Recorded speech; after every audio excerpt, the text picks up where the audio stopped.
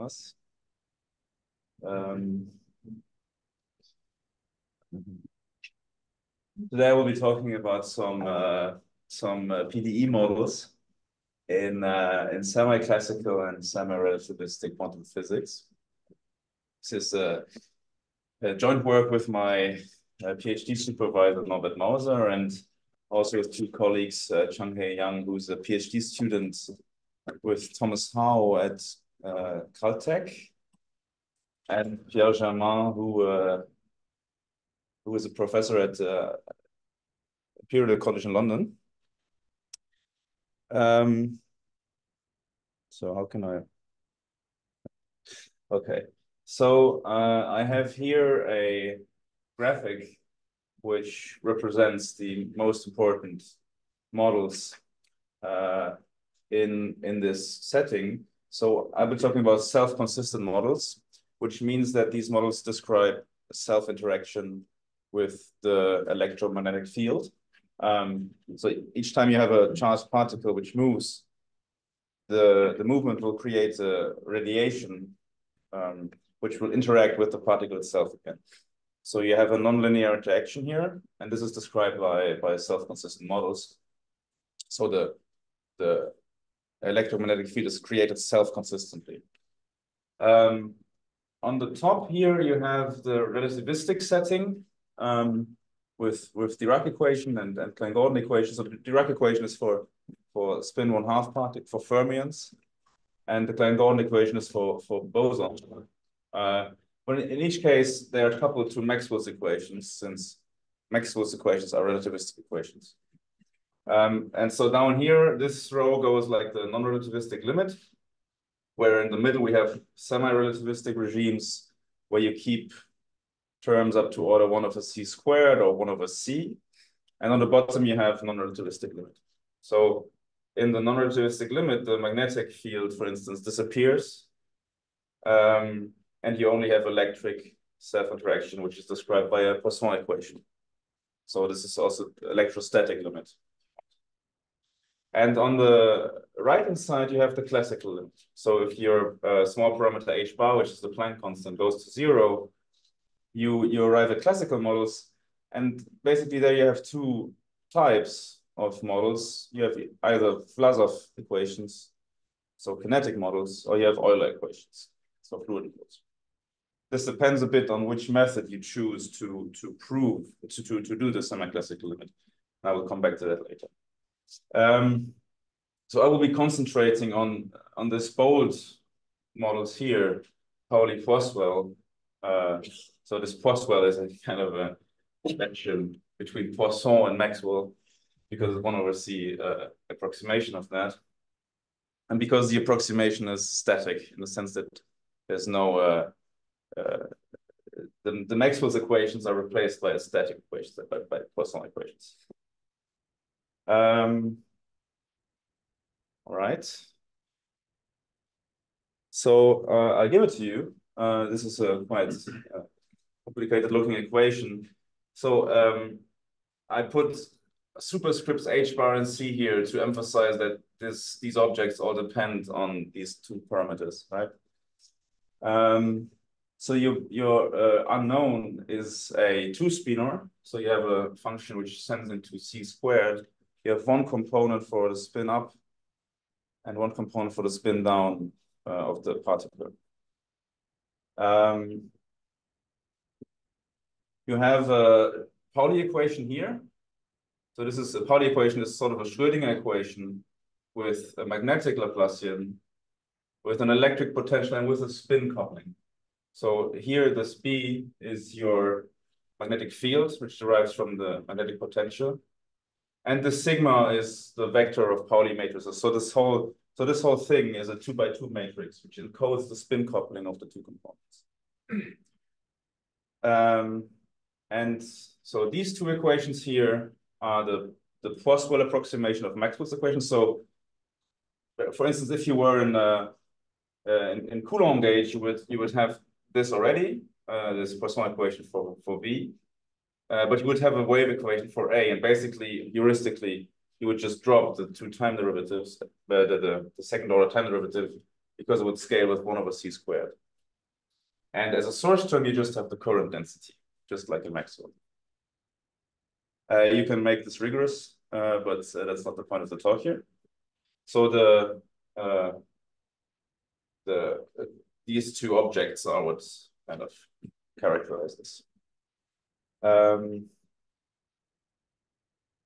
so this model was established by by Nader and, and Norbert, I think 20 years ago, 24, three, something like that. Um, uh, so these are things I already all said. Um, so I can skip this actually. Uh, so in the in the in the like SQL now, I will just uh, set everything to one and just just, just keep the Planck constant because this is what we concentrate on in the semi-classical limit. And I will be concentrating on the 3D case um, because there we have uh, actually a nice interpretation of uh, of the magnetic field. Um, and also we have this um, equivalence between the Hartree nonlinearity, so the fundamental solution of, of the Laplacian in, in, in R3. Um, so just a brief overview on the analysis. You can get local well-posedness uh, in sufficient regularity for if you use energy estimates. So here you get some uh, Sobolev exponent five halves plus epsilon. This is due to uh, Sobolev embedding when you when you have to estimate the because in the in the in the magnetic Laplacian you have a derivative of u a times grad u, and if you want to estimate this, you need this uh, high embedding. You can also establish weak solutions globally uh, in H1 using something that's called parabolic regularization, where you add a dissipative term and you pass the limit.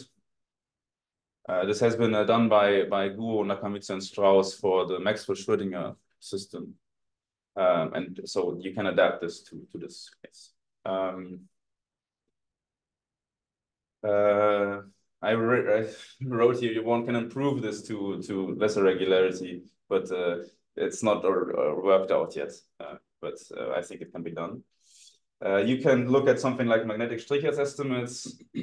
Um, and so the global well posed H1 is, is open. So, but this would be what you would expect for this to be the optimal regularity. Um, uh, why is it difficult? Because uh, you have to, and so at, at some point you have to estimate DTA, time derivative of A, but since A is given by a Poisson equation, you don't have that much control over the DT. Um, but uh, so this is the situation for the existence and uniqueness of solutions. Um, so just to put you in the picture, when you do the uh, non-relativistic limits, this is what you end up with, the famous Schrödinger-Poisson equation. So here you see you have no magnetic field here, just have a regular Laplacian you have no spin term. Uh, and obviously you have no equation for A um, because it doesn't even show up. Um, and also you lose the description of spin. So before we had two components, now we only have one scalar wave function. Um, what happens with Schrödinger-Poisson and the semi-classical limit? So if you use uh, the Wigner method, which I'll explain later, you arrive at Vlasov-Poisson, where you have a Vlasov equation with coupled to a Poisson equation. So the, the potential V here is coupled to the to the density rho via Poisson equation. Um, this limit has been famously proven by Pierre-Louis Lions and Thierry Paul in 1993, uh, simultaneously with Peter Markowich and Norbert Mauser, um, where they use the Wigner methods. Um, the time uh, here is a famous paper by Pfaffelmoser uh, who proved global classical solutions of that, regardless of the such. Because you know, if you have a uh, if you change a sign, then you get to gravitational self interaction. So when the when the interaction of the particles is positive. Um, if you use a say WKB, uh, you'll arrive at at Euler Poisson. Um, so you have a Euler equation. Uh, again coupled to a Poisson equation for, for the potential, um, proven by Tang in 2003 and Alassane in 2007. Uh, so here we have really electric self-interaction. Another important item here is that there's no pressure in the Euler equation. Uh, if you just derive it from, from Schrödinger-Poisson, as I wrote it uh, two slides ago, um, if you want to have a pressure term, then you have to, to include some, some uh, nonlinear interaction term in the Schrödinger equation. So this, some sort of H, depending on this quantity, would have to be included, then go back, would have to be included here as another potential term. And then, then you have a pressure that shows up here. And so here there's a different, there's a great difference between the signs. So if you have a, a different sign here, you have uh, the model of gravitational self-interaction, and these are very different cases. Um, so just briefly, I will tell you something about the Pauli-Poisson equation. So there you would just uh, consider A here as an external quantity. So if you have a strong external field, you can justify it, can drop out the, the nonlinearity for A. Um, and this is a equation which is much simpler than Pauli-Poisson, obviously. Um, it's not a it's not a really consistent model uh, because not everything is one over C, uh, but it's still it's still useful to study. Um, obviously, you, can easily get global closeness in H1 here. Um, well, I shouldn't say obvious, but um, but uh, how can you justify this more rigorously? So this is an idea. This is not proven. This is just conjecture. Um, so if you consider an n-body Pauli equation, right? You have n particles. You have a, a tensor product of n wave functions. And you define something like this. You define like a Hamiltonian, like an n-particle Hamiltonian for the Pauli equation, where you add this term here, uh, which is the Coulomb interaction. Then uh, in the limits and in the mean field limit n to infinity, you should arrive at the Poisson equation because uh, in the in the Schrödinger case, Schrödinger n-body Schrödinger, you arrive at Schrödinger Poisson, right? Um, in 3D, because this becomes the hard field Hartree nonlinearity, right? This becomes a convolution with one over x. In 3D, this is equivalent to the Poisson equation. So something like this should hold for the Pauli equation. There's uh, difficulties here. For, so first of all, you have to do this for with magnetic fields. Um, you have to control this in a way. Um, but the, the, more important difficulty is that the Pauli equation is a question for fermions. So fermions are characterized by anti-symmetric wave functions because of the Pauli exclusion principle. And so you would have to do a, a fermionic mean field limit where you would arrive, arrive at the Hartree-Fock equation or something like that. But then it's very difficult to, to control this kind of singular interaction. Um, there has been recent papers on uh, the fermionic mean field limit with Coulomb interactions by uh, Porta and Schlein and uh, Rademacher, I think, and, and uh, Saffirio, Saffirio. But this is like a very recent and also not, not that satisfactory because they have to pose strong assumptions on the initial data. And so this is uh, actually quite interesting uh, question. Again, uh, uh, what are they exactly proving? Which um, so they they would have no magnetic fields, obviously, mm -hmm. and they would choose a, a Slater determinant for the initial data, and they have to assume, I think, a pure state uh, and this pure state has to satisfy some assumptions which are very strict, I think, but I don't know uh, exactly.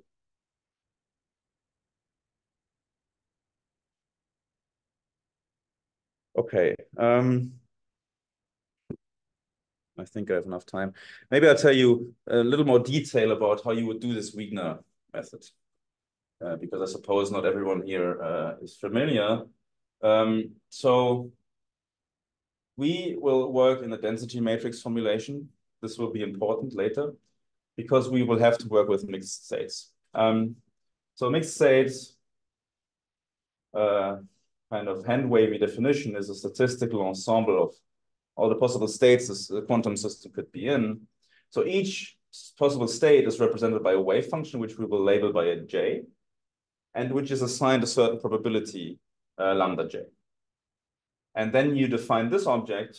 Uh, so in fact, it's an operator, which is a trace class, but it has a kernel, um, which you will use from now on, and this is defined like this. So you sum over all, there's infinitely many possible states, each weighted with a lambda, and you have this quadratic form here. Um, so obviously, because they're probabilities, they have to be positive, uh, and they have to sum to one, and these uh, wave functions are orthonormal. And then you can derive a system for like an infinite system uh, from from from this. So we have a Pauli equation for each uh, uh wave function. We have the two Poisson equations, but the sources are a bit different. So the sources are now the density. So basically the, the diagonal of rho, which is well defined, you know, um, and similar for the current, you know, so you have to sum all this. So what do you, excuse me. Yes. Sorry, this one from the n-body polytron? No, this is something, oh, this is a very important uh, item I have to mention. This has nothing to do with an n-body system. This is just for, this is basically just for one particle, but the particle has different uh, possible, so uh, you as an observer, you don't know the exact state, so you have to consider like an ensemble of states, statistical ensemble, each, each one a possible outcome or a possible state of the system for one particle. So this is not, this index J does not number the particles, it numbers the different possible states. It's an important distinction, right? Um, so initially they are orthonormal and after that they will know the dynamics in time. Yes. Contract to be this one. Yeah. And how to select the initial state? Well, the initial state is encoded here. No, and yeah, how to select them? So this arbitrary orthonormal state for L2. Yeah, yeah. I mean, this is just a this is just um like a definition of what the density matrix has to be. After that, in this dynamic, they still orthogonal and this structure this magnetic field. Yeah, I mean the orthogonality is uh, is preserved. Yeah. So this linear problem. Um. So, uh, what is the Wigner transform? The Wigner transform is if you take your density matrix and you change your variables to these uh, variables called also called Weyl variables um, or center of mass and relative coordinates. Uh, doesn't matter. You you you you you uh, you define this, and then you take the Fourier transform to the kinetic variable psi. So this would be the kinetic variable in the Vlasov equation. Uh, and you so you take the Fourier transform to that, and um, then you obtain a, fu a function which is called Wigner transform. Um, which was defined to be some sort of replace or quantum analog of a phase space density. But it cannot really be a phase space density because it uh, has negative values in general.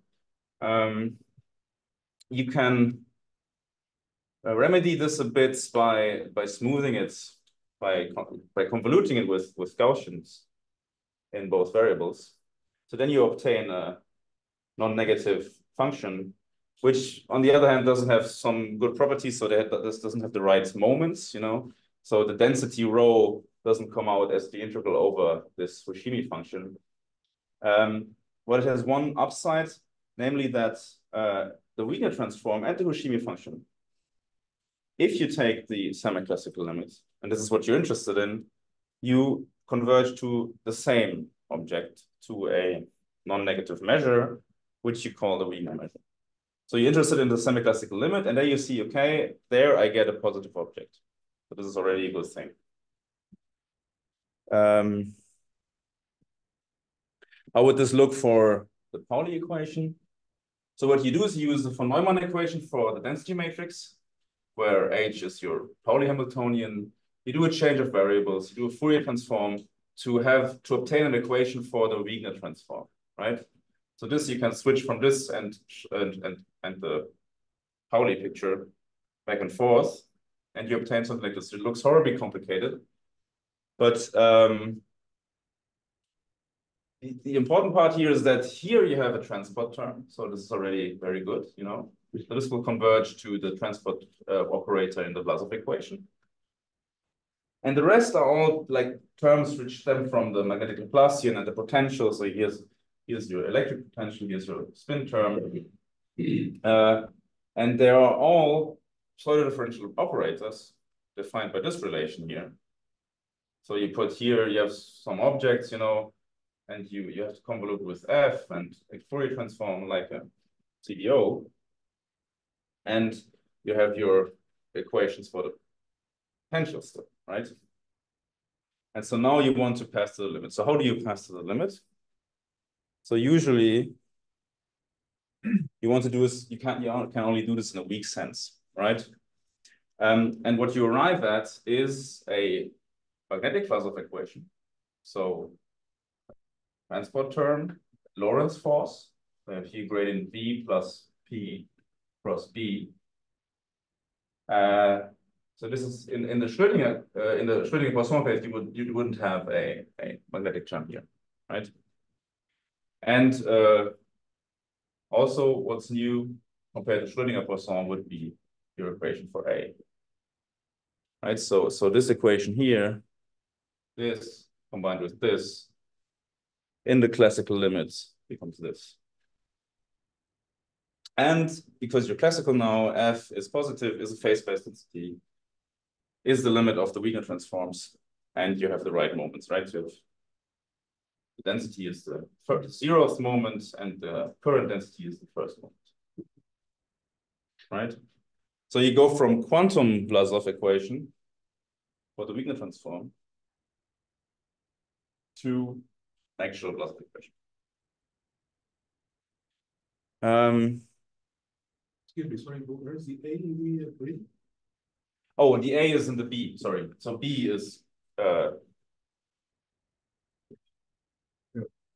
B is the curl of the A.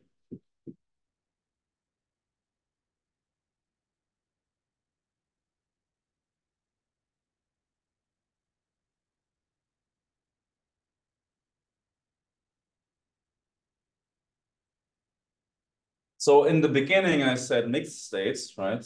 Uh, density matrix and so on. Uh, why not just you know do it in a pure, state, just like use a just use a regular wave function?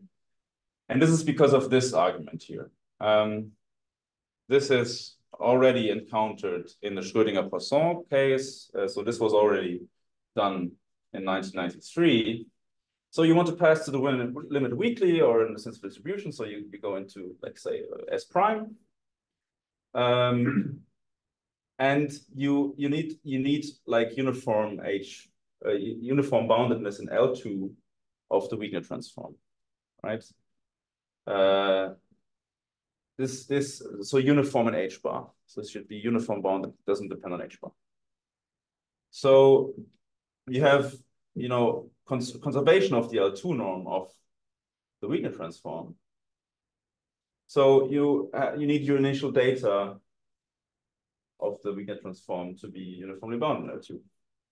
But you can do a simple calculation like this. So if you take the uh, you know the the, the the the trace of of of, of the density matrix squared, which is the same as uh, as summing over the squares of the probability, so the small L2 norm of this sequence.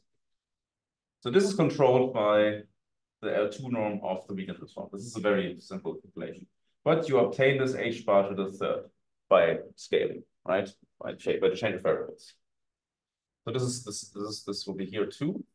And so now if you want this to be uniformly bounded independently of the H bar, you see that this has to be bounded uniformly. So, and if you now would multiply by h bar to the third, you would see that this quantity here, this small L2 norm, is bounded by h bar to the third. What does that mean? That if you also have the assumption that they have to sum to one and that they are positive, you see that you have an infinite number of these probabilities which are non-zero. right? So you couldn't have a case where, say, uh, lambda one is one and all the other lambdas are zero, because then you cannot possibly fulfill this, right? Because then you would have one here, an h bar, and in the limit, this would become infinite, can't right? So you have to have a distribution of lambdas which shrink in the classical limit. So you have to have a mixed state, right?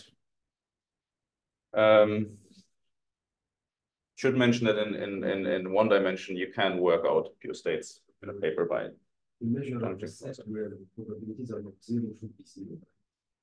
Yeah, it's a very convoluted way of phrasing what you just said. Um, so uh, just briefly, you know, you you you have some problems with the magnetic fields, you know, because what you want to do is you want to pass to the limit in S prime. So you take uh, a Schwartz function, and so this big F H bar stands for these terms in the Wigner equation, right? Um, and so if you take this, for instance, you have kind of a difference quotient. And if you now let H bar go to zero, you need to control this in L2, right, locally, because you, you uh, uh, because you're in S prime. So locally, you want this to be in L2, because, you know, this H, uh, A H bar squared converts to A, uh, derivative of A. And so by, uh, by Sobolev and Hölder, you know, you see you put, you put, uh, you put this in L12 over 5 by Sobolev, you get A in L12, and the sums to one half here, so you, you, you would have an L2 function. Uh, but this is not so easy to see for um, for A given by this Poisson equation. Uh, you need some sort of estimates for rho and J by Lieb-Thirring, for instance. But then again, you encounter difficulties because, you know, for, for the Pauli equation, Lieb-Thirring estimates are not so easily available because the Pauli operator is a bit difficult. Um, so this is a problem we have yet to circumvent, right? Um, you can, and this is a quite important observation. How much time do I have left actually? 35 minutes. Okay. Uh, this is an important observation which was discussed by Pierre Louis and Patrick Gérard already like decades ago. So um, I, I defined the Husimi function, right? Um, as, as a Gaussian smoothing of the, of the Wigner transform. And they converge to the same Wigner method. So if I'm just interested in the, in the classical limits, why don't I just look at the Husimi function? Because there I can also define an equation, right? I just have to convolute the whole Wigner equation with Gaussians. And then you can see that if you use a slightly different definition of the Husimi function by coherent states, uh, you can you can impose another bound on the probabilities. So before I had the small L2 norm, which should be bounded by some power of H bar. And now I have the L infinity, small L infinity norm, right? So they should be uniformly bounded by H bar. And then you get also by a relatively simple calculation, you you obtain that the Husimi function is actually bounded in all LP sp LQ spaces from one to infinity. And uh, saw here the, the, the first right? And now it's I'm a bit lucky because now I don't have uh, to use. I go back here. I don't have to put L2 log here. I can do whatever I want because you know uh, here I can pair it with something which is an L infinity or something else. You know, and this significantly relaxes my requirements on how regular A should be. Okay. So to, to, to uh, recapitulate what we just discovered, so you have a function, the Wigner transform of the density matrix, which is something which converges to a classical object, the method, right? Because you want to go from Schrödinger or Pauli or whatever to Vlasov. And in the limit, F solves in a weak sense, in a distributional sense, it solves the Vlasov equation in the Pauli case with Lorentz force and the Lorentz force couples to the to the equations for the electric fields. So in the nonlinear case where A, there have you have some technical problems here, um, which are not yet solved. Um, but you can we, we try to to do this way via the Husimi function. So you, you cannot pass to the limit in the Well, not so simple, yeah. Yeah. Because this is more more delicate than just a Poisson. Poisson uh, for V is very much. So uh, so here you would have it for Pauli Poisson, right? You would assume some initial regularity for your magnetic field. Uh, this is needed for the, in, when you want to use magnetic Lieb-Thirring instruments, right? Um, but since this A is external in the Pauli-Poisson case, uh, put this away here. And so in the Pauli-Poisson case, A is external, so we can choose whatever we want. You have an initially bounded sequence in L2, uh, and then you you you get you get a weak limit for your Wigner measure, right? Which solves the Vlasov magnetic Vlasov equation with Lorentz force. So B is external here. B is equal of A. Distributionally, this is zero. And if we want to put a conjecture for the Pauli-Poiswell, well, uh, you would have to use this new condition where you bound this uniformly and you you trans you transform everything into Husimi and use this, you know. So instead of L2, you have L infinity here. And you hope that this will still solve it in the distributional sense, right?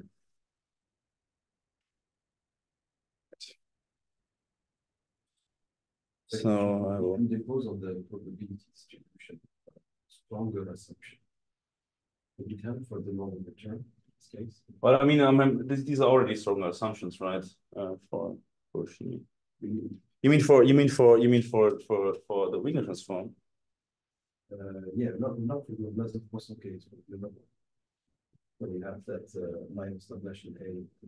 Yeah, yeah. Uh, yeah.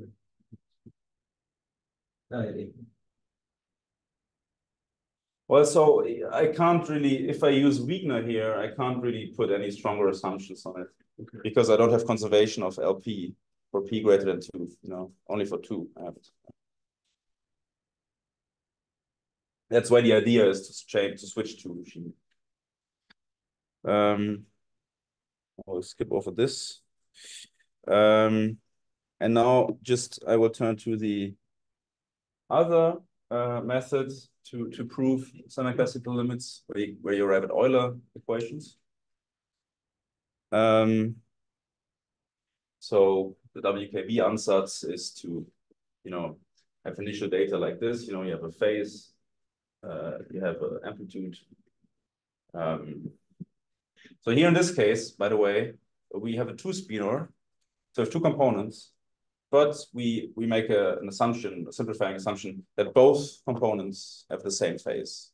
Don't have so this S is the same for both components of the spinor. Uh, this is, I mean, this is a physical assumption. This is also a technical assumption because otherwise you can you have like cross terms, you know, uh, between these two phases, which could be nasty, oscillate. Right, you can define your uh, density rho your uh, velocity v as the gradient of the phase. You plug this into your equation, right? This is this standard stuff. Um, actually, uh, this is related to the Wigner measure. So if you take a monokinetic uh, Wigner measure, so which looks like this, so you have a density and you have a Dirac delta, so where you your velocities, you know, are uh, localized. Um, then if you if you plug this into the Wigner equation, you get actually the WKB equation, right? And so Uh, you hope that this um, stays the same, but all this is just local because there are singularities which may arise. Um, but so if you plug this in, you know, you get an equation. So here you are, you already see that you have some sort of magnetic uh, velocity in a way. Uh, you have a Stern-Gerlach term here. Um, so this will become the equation for density in the Euler equation. This will become the equation for the velocity. You transform your potentials. Um, you have some quantities, you know. Then you uh, hope that you have a priori estimates which bound this and that you can pass the limit, right? You take taking the velocity to be the gradient of the phase. Yes. Yeah.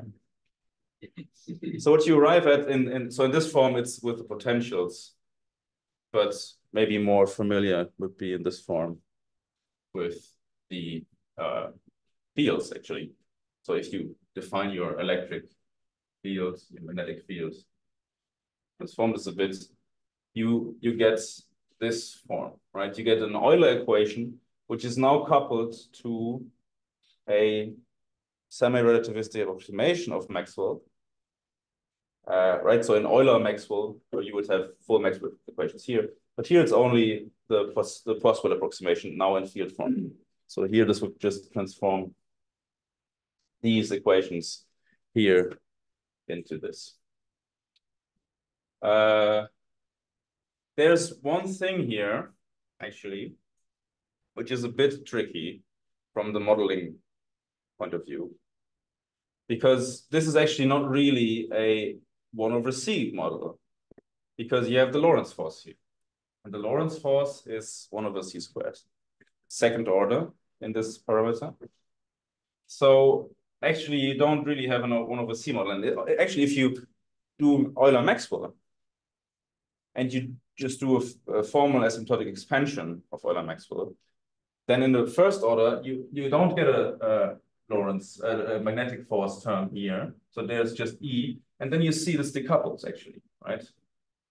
The, the dynamics in the magnetic field decouple. But since we, in, in this situation, where you arrive from the semi-classical limit, you still have a Lorentz force, right? So this is a bit strange, but uh, it stems from the fact that in your magnetic Laplacian, you actually have a second order term, right? This is when you when you you when you take uh, you take so there's one over C here in the magnetic Laplacian. You take a square, there you have a second order MC term. All right. Um, but uh, this uh, makes more sense, you know, if you do a one over c squared formal approximation of uh, asymptotic expansion, sorry, of Euler-Maxwell, then you can couple Euler to Darwin, right? So you still have Euler equations, you have Darwin approximation where you split your electric field into a transversal and the longitudinal component. So the transversal component is divergence free and the longitudinal component is, is rotation free. Um, so this is now consistent one over c squared.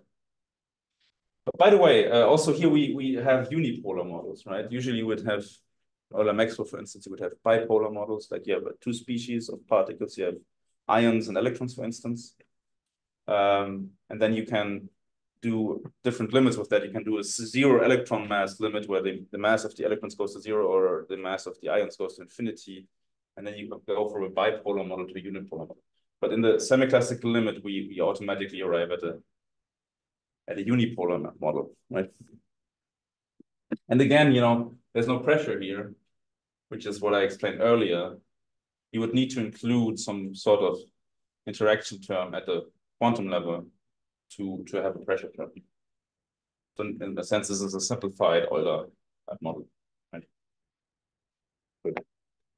Uh, Okay, this is the theorem. Uh, and you need to assume relatively high initial data because you need control uh, Sobolev embeddings and so on. But then you get relatively straightforwardly, you get a solution locally in time, strong solution local in time, and you just pass the limit, you know, in the in the norms.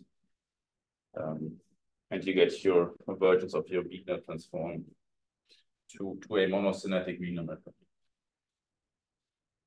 Uh, so this is joint work with Norbert and Changhei, uh, Changhei Yang. Um, so again, here in the, the so it is uh, one uh, is delta. Okay, so this is. Uh, oh, well, this is the distribution.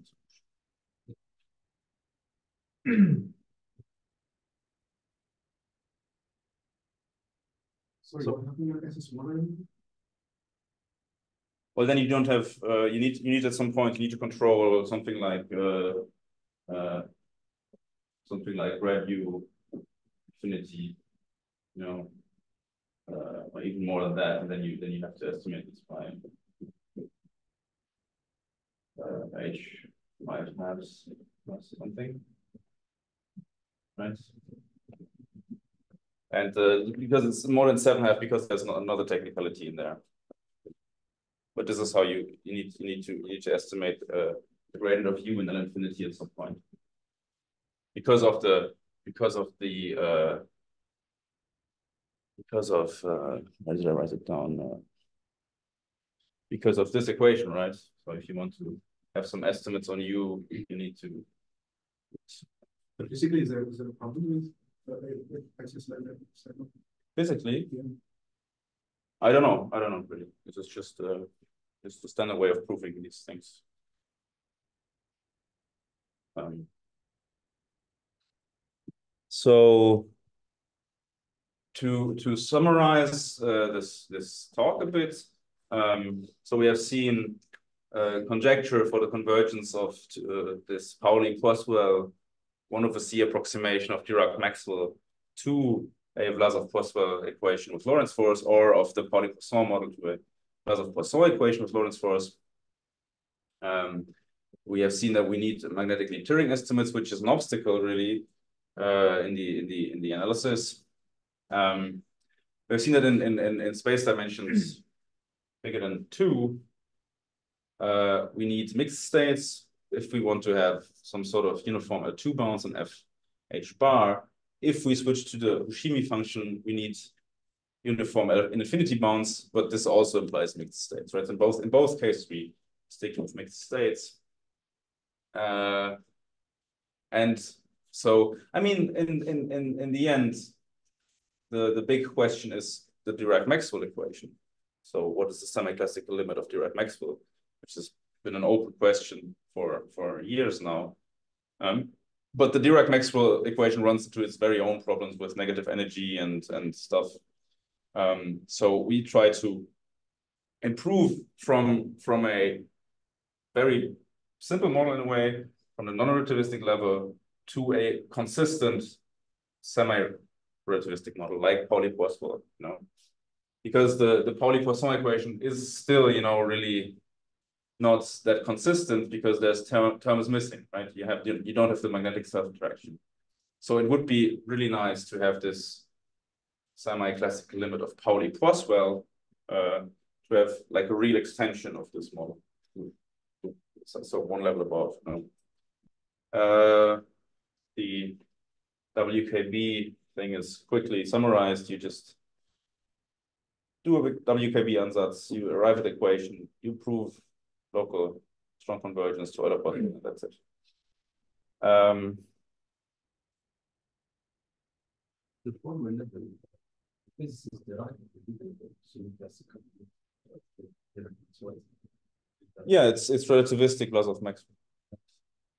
Uh, you you you have a Vlasov equation, um, so where your velocity is not so in, in the in the in the in the non-relativistic setting, your velocity is just linear, but in the relativistic setting, it's uh, one over one plus uh, c squared like this, right? So you just take Vlasov with this velocity and couple it to Maxwell. And this is an equation that we studied a lot, you know, there has been global solutions by uh, DiPerna-Lions and, you know, but the limit from Dirac Maxwell to there, no idea. Uh, so what is the program for future? Uh, what, what do we want to do? We want to improve the well-posedness. Um, we want to look at the semi-classical limit. Get some ideas, you know, we need some compactness in, in the sequence when you want to pass to the limit. There's some stuff about Aubin-Lions. There's an idea that I uh, had together with Francois Golse, which I'm pursuing with him on an independent uh, setting, basically. So um, in, in, in kinetic equations, there is an important uh, observation, which is summarized under the term averaging lemma, which is if you if you average over the velocities in the Vlasov equation, then you're uh, uh, then you have actually more regularity than than alone, you know. Uh, and so if uh, if that happens, you can get a, a, a, compact sequence, you know. And so this would be interesting in this case because if we can prove some sort of velocity momentum velocity averaging for the Wigner equation, which is a quantum Vlasov equation, which has a transport term, right?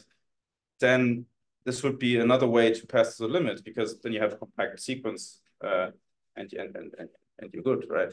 So this would be an interesting question. So, but for now, we we only look at um, at the linear case, even you know, with with external potentials, no magnetic fields and whatever. But this is a uh, work in progress with Francois.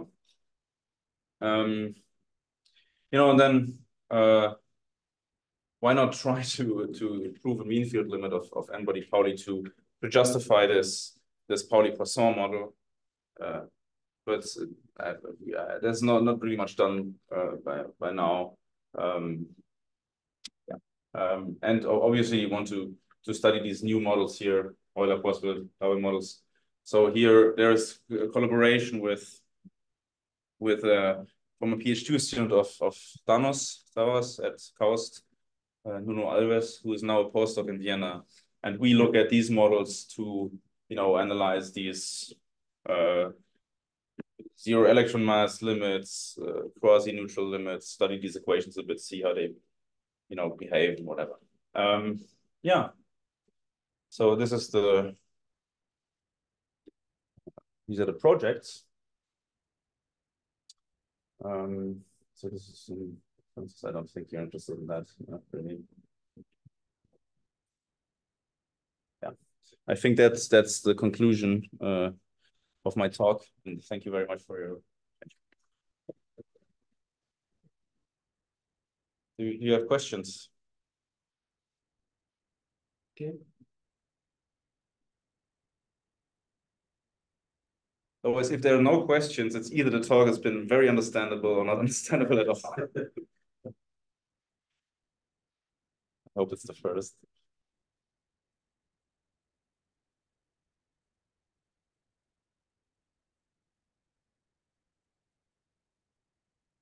Right, maybe does, someone in the chat have a question? Well then, uh, good.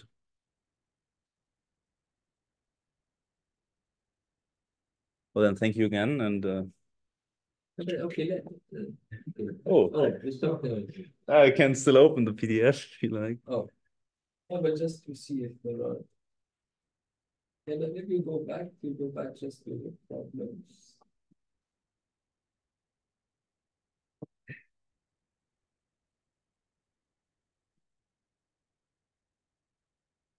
Which one of these do you think is more doable? Well, this is impossible.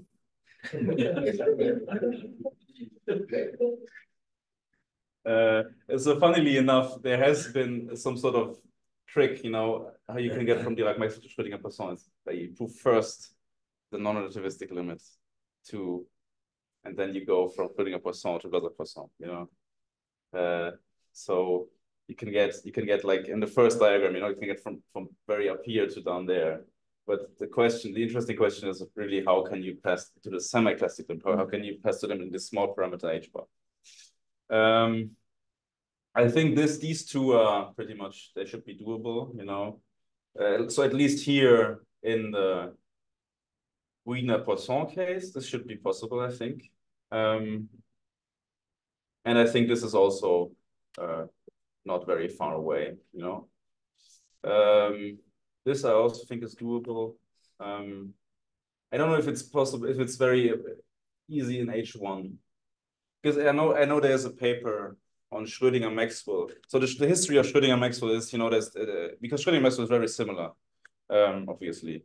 Um, there has been just energy estimates, and then what we talked about uh, yeah, two days ago, something with you know you have some smoothing estimates, you can get down to some something above H1, and then there's a paper by uh, by Tataru where they prove uh, the H1 well posedness of Schrödinger Maxwell, but this is a horrible paper with very very complicated techniques and uh, using a lot of the dispersive properties. It's very complicated. I don't know if it's really worth doing that for, for this model. Um, and I think this is also very, very difficult. Um, so these two, I think, are the most difficult. Uh, and the rest, this should be all doable. And this is, you know, very open. Can just to get the poses result, which Hmm? poses result. Poses, uh, well, uh, hmm, I don't know. I think certainly below H1, it's it's probably ill posed. But you can go really below or you can. can do- Well, I don't think, I don't know. I don't think so. I don't even know if someone has looked at this for, for the Schrödinger Maxwell model, which is certainly the more famous one. Uh, I, I think the best that, that is done there is, is H1. It's convex integration techniques and PM. Wow, I don't know a lot about them actually. more solution below the scale. Yeah, maybe. I mean, in the end, these these these results are all just in the end they are just uh, fixed point arguments, right?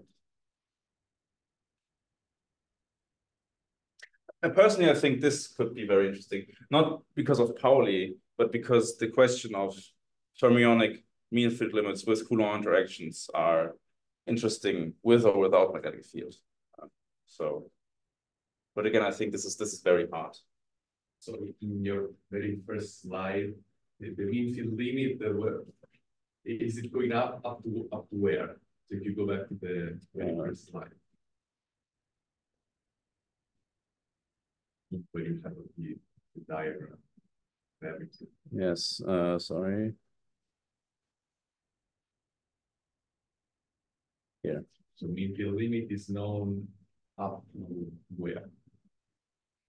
So it is it is known here Yes.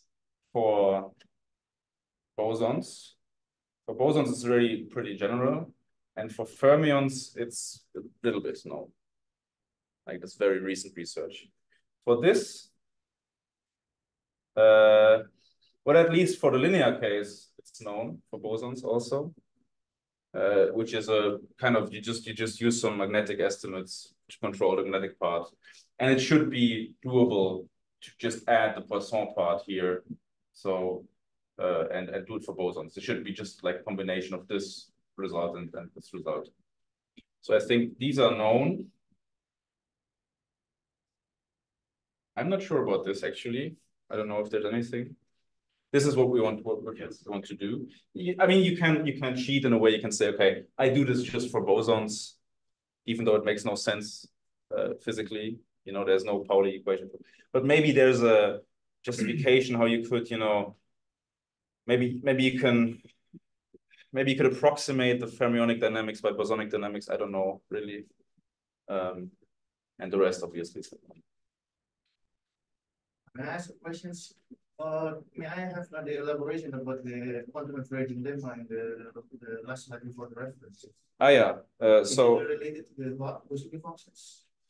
Uh, well, not really, actually. The point why you would look at uh, at uh, um, maybe I have the slide still. Uh, where you would look at uh, quantum averaging lemmas is the reason that, so this is your Wigner equation, you know, forget, forget about all this here. But the important thing is you have this transport operator here, right? So this is sort of an equation where you might think you could do some averaging, right? You, you can use the structure here, and then you just have to control these terms. You have to control this operator. And then you you get that, uh, you know, depending on the regularity of your potentials, you get that FH bar is actually in, say, H uh, one half or H one fourth. And then you get compactness in L2, and you can pass the limit in H bar, right? So, so this is the reason why you would want to look at these averaging lemmas. Uh, but in the full generality of obviously this is, this is still not known. Okay, more questions? Okay. thank Okay, you. thank you. Okay. Uh, something in the chat? Oh no, it's just a thanks. All right. I was excited or not?